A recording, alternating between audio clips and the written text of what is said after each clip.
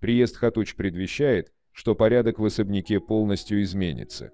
В то время как Хатуч, пользующийся бесконечной поддержкой Халиса Аги, начинает проявлять свою власть, все в доме находятся на грани. В то время как новость, которую она узнает от своего врача, потрясает и Факат, она понимает, что ей нужно поторопиться, чтобы принять важное решение.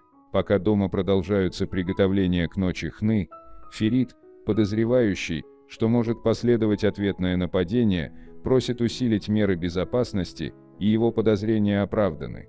Архан, желающий вернуть себе власть в компании, не останавливается перед сложностями. Хотя близость Пелена и Кая приводит к возникновению новых конфликтов, Сейран решает на разговор с Пелен. Оставив позади плохие дни прошлого, Ферит и Сейран чувствуют их любовь и доверие друг к другу. Ужасный сюрприз ожидает Халиса и Хатуч, которые годами с тоской ждали этого дня. Ранее снимали «Ночь хны» для Хатуч. Неужели на этом моменте закончится 64-я серия «Появится Сертер» и будет искать Пелен в особняке? Сорвет ли он прекрасный вечер или саму свадьбу Халисы и Хатуч, вполне возможно. Видео с «Султан» будет выпущено. Причиной того станет Кая. Но почему, неужели он поверил в бредни Пелен и решил отомстить Фериту? А может Кая вспомнил, что целью его появления в особняке является месть? Они с Пелен будут строить планы мести, Фериту и Халису. Скорее всего, Акын будет сотрудничать с Сертером. Мама Акына будет давить на него, чтобы он отомстил. Возможно, Акеш Ага умрет, и это добавит масла в огонь мести. Ферит подарит Сейран кольцо, в 64 серии будет много милых сцен с Сейфер.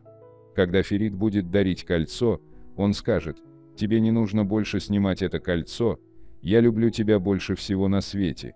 Халис и Хатуч всегда подчинялись судьбе и не боролись друг за друга, смирялись со временем и сошлись лишь к концу жизненного пути и есть Сейфер, которые проживают похожие события, но имея другие характеры и отличаясь от своей семьи, они восстают с первого момента против судьбы и времени, они видятся в магазине, Ферит отправляет пахлаву и приходит сам в отличие от деда и делает это всегда.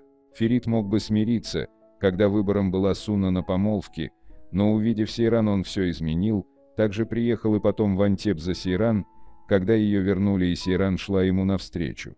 Если бы они хоть раз смирились, они бы могли прожить такую же ситуацию, как Халис с Хатуч, встретившись лишь к старости.